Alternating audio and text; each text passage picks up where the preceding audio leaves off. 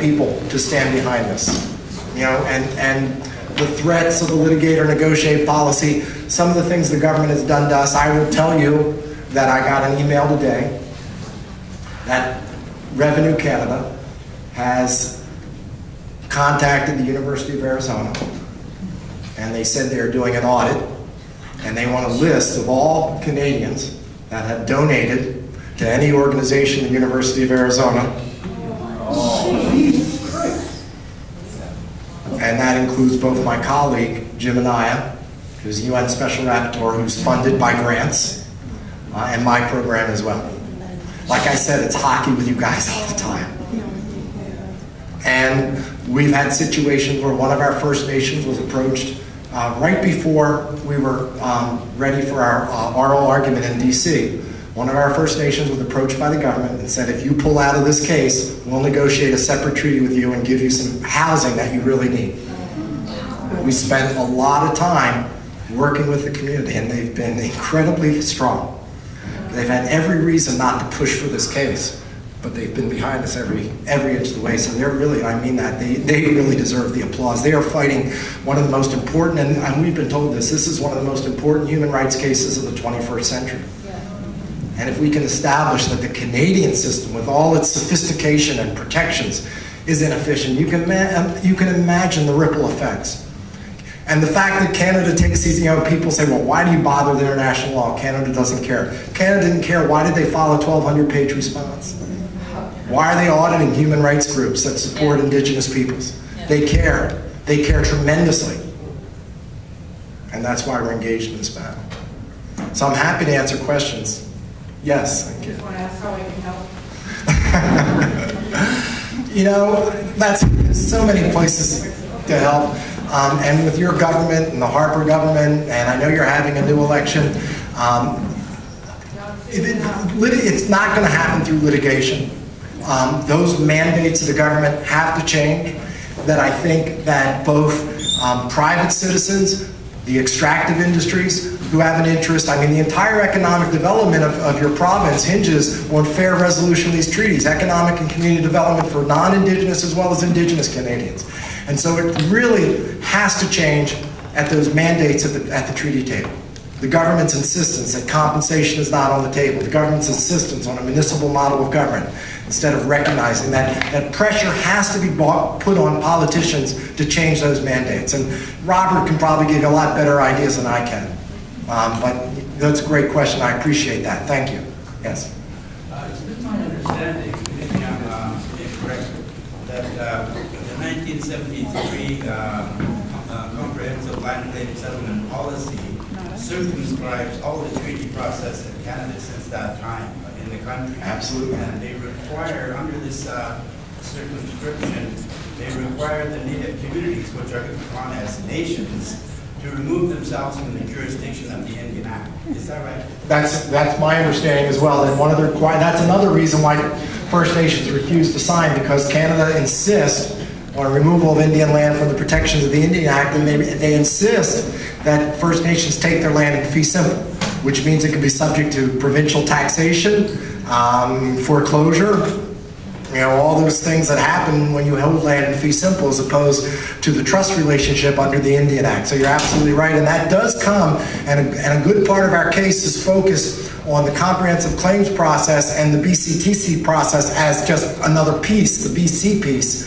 of that national policy. So that's what we're attacking. Is, you're absolutely right. Yeah. Follow up, sure.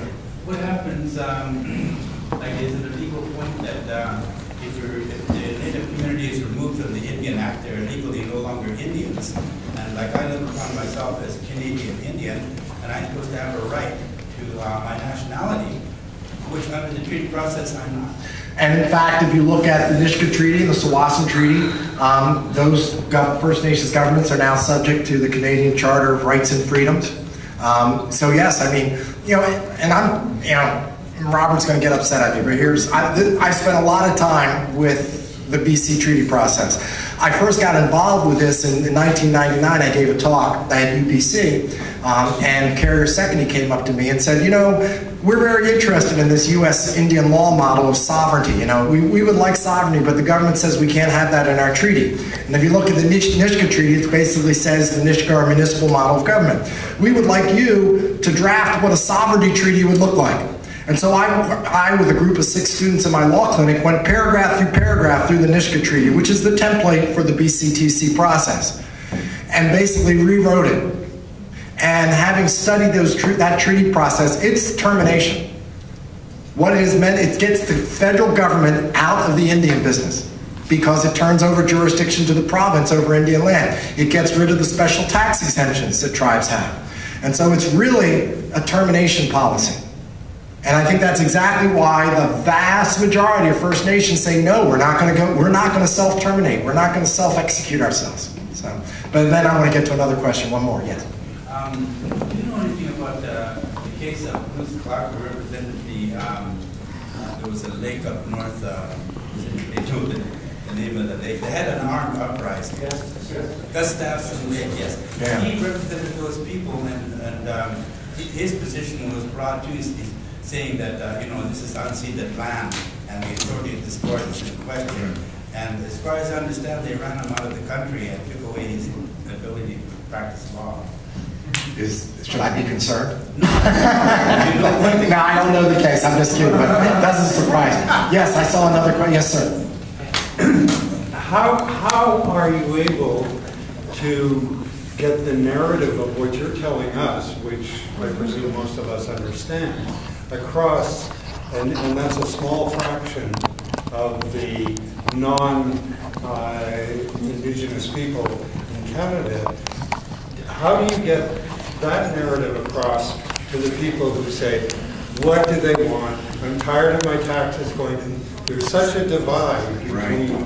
that, and I would think that you would need at least a significant minority to come along and understand. Well, I think the first place you start with is the way you train your lawyers. Okay? Um, you know, i have been teaching law for 32 years. I've taught India law. I, I, sort of know that if you take a certain position, you're going to end up at a certain point. Um, and I think First Nations lawyers started down the road around the time of Delgamuukw. That was a mistake. And that the doctrine of discovery should have been challenged at the outset. And so I think you need lawyers trained in law school to understand that the Canadian model does not provide due process, it does not follow the rule of law, and you have an ethical obligation to do everything you can to defeat it instead of enabling the government by upholding it. You know, what I'm fearful of is in the Chilcotin case that the Chilcotin are so concerned with losing everything that they might be willing to compromise to take a little and thereby further embed the principles of the doctrine of discovery. And so, you know, that's a, that, that could be a very difficult decision, and I can understand, I perfectly understand why the Tsawwassen and Nisga'a signed their treaties. I don't have a problem with that. I mean, I think a First Nation can make that determination and say it's our own interest, but a lot of First Nations have said, no, we're not. And I think you're right. There's a lot of lack of understanding of why they're saying no. But I think it does start with the way that we train lawyers. Um, and let's face it, I mean, just as in the United States, it's hard to get press coverage for these issues. You know, that the, that the majority media isn't really as interested in that. They're interested in all the horrible things. Or any honest yeah. Right. Uh, exactly. So, yeah, I mean, I can't fix U.S. society. Don't ask me to start helping you. I'm still mystified by you. You're also polite, you know. We're, we're really confrontational. I mean, I was Tom Lumbee, you know, we get in people's face. Um, it's just such a different cultural style with the Lakota Sioux. I deal with the Navajo. Um, I can tell you that U.S. tribes are so much more aggressive and are so much more confrontational and are so willing, as you said in Gustafsen, you know, what's great in this Chilcotin case, if you read the Court of Appeals opinion, it started with a blockade. I mean, it started from that type of social activism, and here's what happens. You've got all that energy in the community. People are willing to put their lives on the line. They're willing to get arrested. They take a stand. The government pays attention, and then the lawyers take over and you put it in the court. And what you end up doing is when you go into court, you dissipate all that energy, you put the issue in the hands of experts rather than the community, and the community doesn't know how to talk to those experts. And then they come back 10 years later and say, this is the best we could get you, here's the bill. So that's the problem. Yes, sir. Yeah, I was just uh, thinking, your uh, doctrine of discovery has a corollary effect, and it's called the divide and conquer. And uh, that's a real epidemic here. Um, We say that with Carrier County uh, mining enterprise up there, they're talking to Carrier, the County, so they're at odds. Yeah. And uh, I'm just putting it out that uh, there has to be a unified indigenous voice in the jurisdiction of Canada. Because the divide and conquer gets used jurisdictionally through provincial federal arguments, municipalities, Yeah. through organizations. And uh, in 1996, the Royal Commission on Aboriginal Peoples actually um, made a recommendation for an Aboriginal Parliament in Canada. Of course, none of the recommendations in that report have ever been followed because it puts too much power in the hands of Indigenous people here. But a lot of that work has been done, and it's a matter of revisiting. some of it. And that, uh, I have a funny story about the Royal Commission. So Paul Chartrand, a Metis lawyer, was one of the first, uh, you know, indigenous peoples who sat on the Royal Commission. And so part of Canada's 1,200-page response was, well, the Royal Commission addressed all these issues, and in fact, uh, we just issued a report, and they copied the report, a 200-page report called Gathering Strength.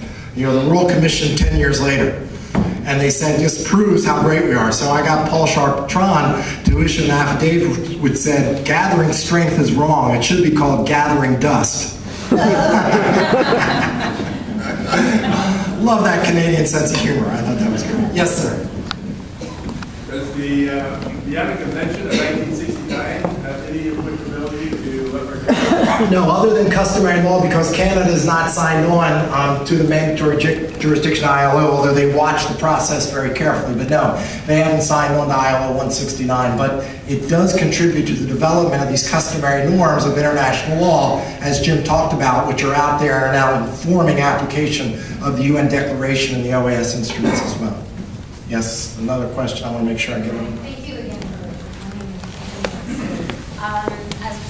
I I just wrapped up my first year in Ottawa, and uh, I- I'm from BC, and so obviously I've worked with First Nations for quite a while. And this is, this is kind of the exact uh, deadlock that, that I encountered when, um, you know, Delgamuukw was propped up so much in our property class, and, and after Delgamuukw, there was all this litigation, and a lot of Aboriginal communities thought this, this was the key for them. And then you have Section 35 and the duty to consult, and now the Williams case. And I- I guess you, you've already answered the question where I just want to know what, all this talk about the duty to consult, and, um, and with the Williams case, do you just think the Chief Justice, again, you know, she, she worked on Haida, she's just gonna, another fuzzy gray, come on, just try to get it together in the name of reconciliation? I I actually think they're going to use the Williams case as a way to get out of these cases. That they're going to set down a standard that's clear, uh, that's very minimalist, the postage stamp approach, or maybe a little bit more. Um, and if you're not careful about the way that case is argued, um, it's going to be the final word on indigenous uh, aboriginal title for the next 20, 30 years. So, and if you look, if you read the appellate opinion, I think it was written to serve up on a plate an approach that the Canadian Supreme Court will adopt because they'll be convinced that this will put an end to all this nonsense and stop clogging up our courts with these cases that we don't feel we should decide anyway. I mean, the, the court has said repeatedly, and Justice Vickers in the William case that these things need to be negotiated. Please don't bother us, negotiate them. We don't, we, and you can understand, this happened in Australia and it happens in the US the seven or nine unelected judges are not going to give over 90% of the province of British Columbia to First Nations. They're unelected. And they feel that their role constrains them from basically, as the, as the court said in, in a major indigenous rights case in, in Australia, they're not going to rip out a skeletal principle of the legal system to achieve justice. If you're going to do that, get the legislature to do it. So that was why my answer is Stop litigating. Can I in the United States, we've got a horrible Supreme Court. I know because I lost an indigenous rights case nine to nothing, so you shouldn't be listening to me very much, okay? But that was in 2001, and, and after that case, the Native American Rights Fund formed a project called the Supreme Court Project, and it has one goal, and that goal is to keep cases out of the Supreme Court. Can you imagine? So here I am, a law professor, and every lawyer, law student says, one day I'll get to argue in the Supreme Court. And I've got to tell my students, not if you're an Indian lawyer, you don't want to bring it there. But stop bringing cases to the court. You're wasting, I'm not saying, it's not my opinion. The Inter-American Commission on Human Rights has said, you're wasting your time. That's what, that's my point, so. I'm not a lawyer, uh, but it, it seems to me that the bottom line of what you're saying is uh, a transfer of a lot of economic power and uh, almost political power away from where it exists now. Uh, So my question is, is there an example where there has been a, uh, an appeal to an international commission in any area of law has resulted in this kind of uh, really revolutionary Yes. uh, changing of the uh, map? Yes, two cases that my program helped bring along with Jim Anaya. The Awas Tingni case, after that decision, Nicaragua amended its constitution and created an autonomy regime on the Atlantic coast in which the Mosquito, I mean, you know, you know the history of the Mosquitos, they were Contras. They went to war against the Sandinistas. The leader of the Mosquito Contras was Brooklyn Rivera. He is now head of, he's the elected head of the Atlantic Autonomous Region. In Belize, uh, our program, having prosecuted an indigenous rights case on this exact theory for the Maya, we then went into domestic court in Belize and told their domestic courts that you have signed on to the OAS declaration, and here's what the Inter-American Commission has said, that you must recognize and demarcate. And the Belize court, at the Supreme Court level, adopted the position that we are going to incorporate this decision of the Inter-American Commission into our own law. And so now we reverse our law, we, we recognize Aboriginal rights. Now that's Belize and that's Nicaragua, and I know they're different from Canada. Um, but there are, there are precedents out there where this stuff works. Yes? I hate to be so cynical, but, uh, More than me? okay. If, uh, if, if, uh, everything you've been discussing is the foundation of Western civilization for a few thousand years, and to recognize uh, Aboriginal, I mean, wouldn't recognizing Aboriginal rights, which I'm in favor of, and I think Right. it shouldn't have been about for a thousand years, uh, wouldn't that mean I hand over the the keys to my house in Burnaby and, I mean, like, what is, what is the solution now? Isn't it too late? Shouldn't No, it's not too late because there's a lot of land on Vancouver Island that hasn't been clear cut. That the Hul'qumi'num people still use for gathering, for ceremonies, for their bathing, for hunting. Uh, and if, and you know, when you talk about a tremendous transfer of wealth and power, there ain't that much wealth and power left. I mean, for the whole community, there's very little land that they can go after. And the standard, and here's the thing, and again, this is so different from the way your lawyers think about indigenous rights.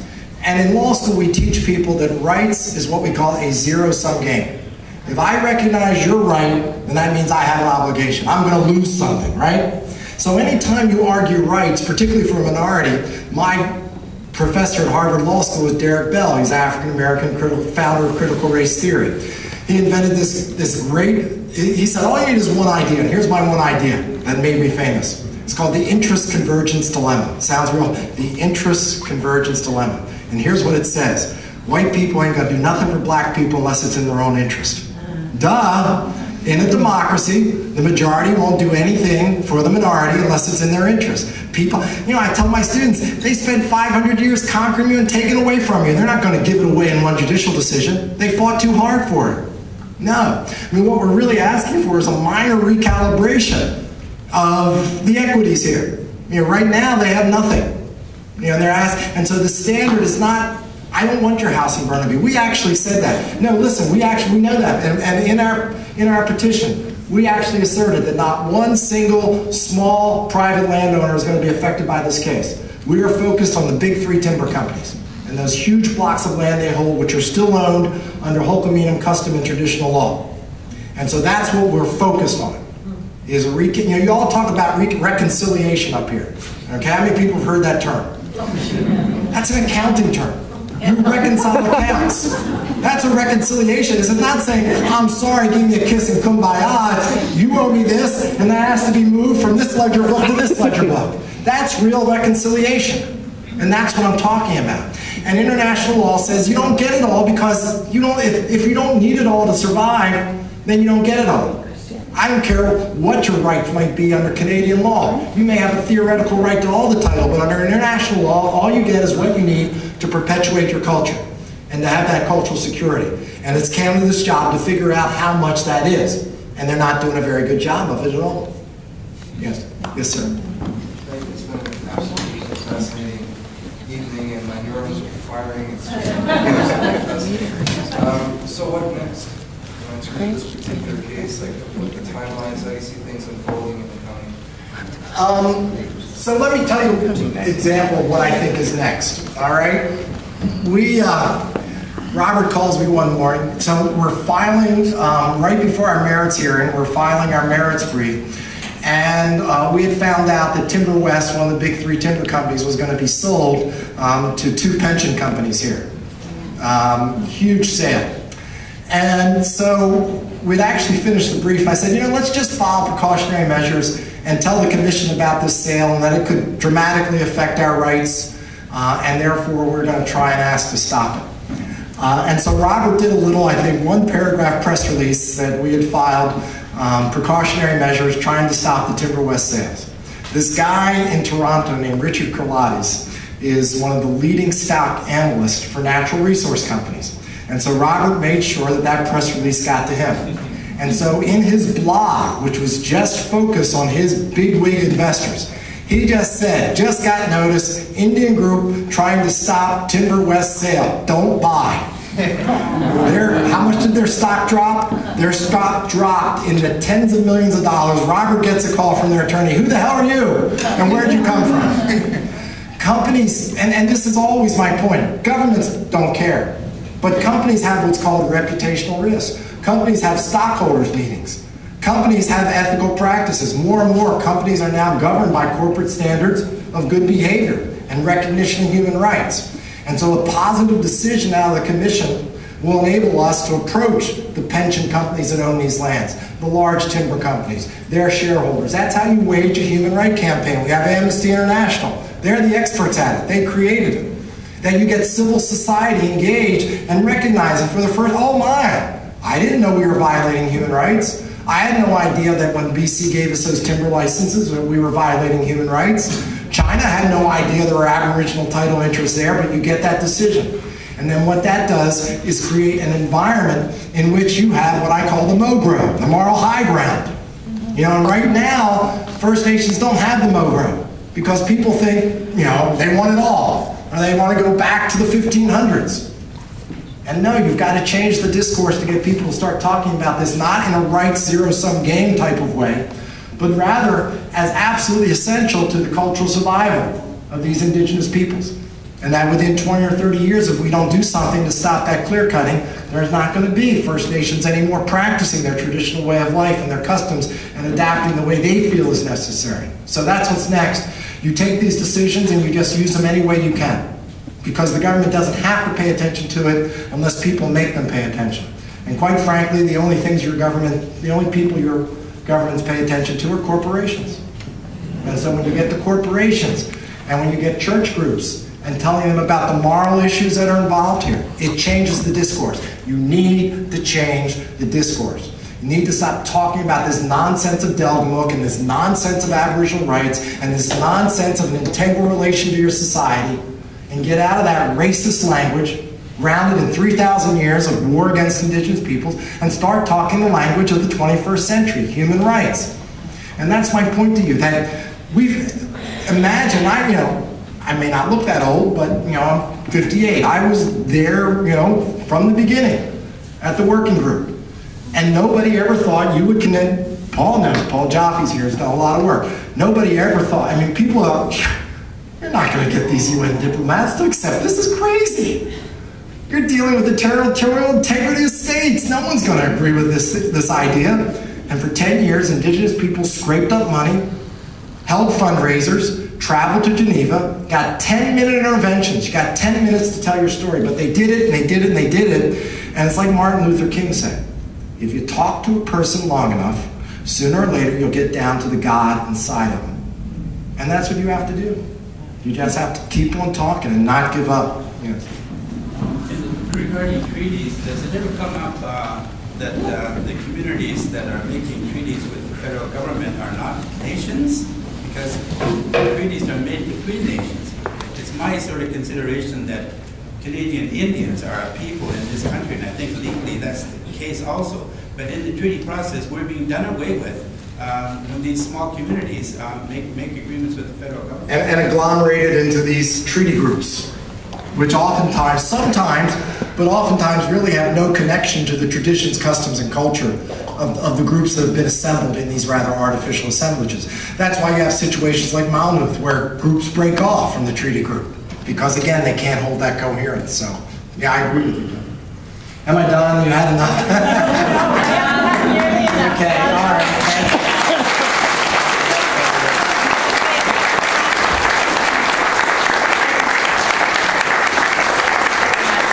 I want to say thank you so very much Dr. for, for such an inspiring, passionate, illuminating, elucidating speech because um, what my, uh, the, the problem we all face, we spend our lives trying to swim to the surface. And we try to swim to the surface through the muck and mire of, of cultural mores and historical nonsense and bullshit. And one of the things that we know in, in British Columbia right now that we know because of the, um, partly because, largely because maybe of what the First Nations people are doing in resisting um, uh, crazy things like Enbridge and, and the um, twinning of the pipelines and so on. So it's like these people that have, we've had our boot on their neck for hundreds of years, and now it's those people who are rising up and saying, um, we're going to save uh, the land for us and for you. So I just have to thank you so very much. You've so inspired me. I just loved every word. I'd like to sit and hear it over and over again. No, buy my book. I hope that everybody here um, takes um, what Rob said and treats this his lecture as a beginning point, not as an end point, but a beginning point in learning about international law because international law is at a very, very law is at an important juncture because our law, like Canadian law, that we all say, oh, isn't that wonderful? Well, it isn't. It isn't at all because the law was fashioned to protect wrongly acquired privilege. You know what I mean? And and what, what was happening, what happened with First Nations, that's the same. So, but now there's an opportunity that you're outlining so so uh, passionately and beautifully that international law now can start shaping domestic law. But it can, if we stand up and say, we don't care what the storyline is about why we need to um, have, uh, you know, develop the tar sands in order to live. We don't have to know that. And so I just wanted to say in closing, one thing, one person said, what can you do? You can do this. You can just keep advocating for human rights. And what this man said about, will it mean I have to give up my house? I say maybe it will. Because you can never solve a problem by saying, oh, what? You know, like we, slavery would have gone on if you'd said, but how would I run the cotton farm?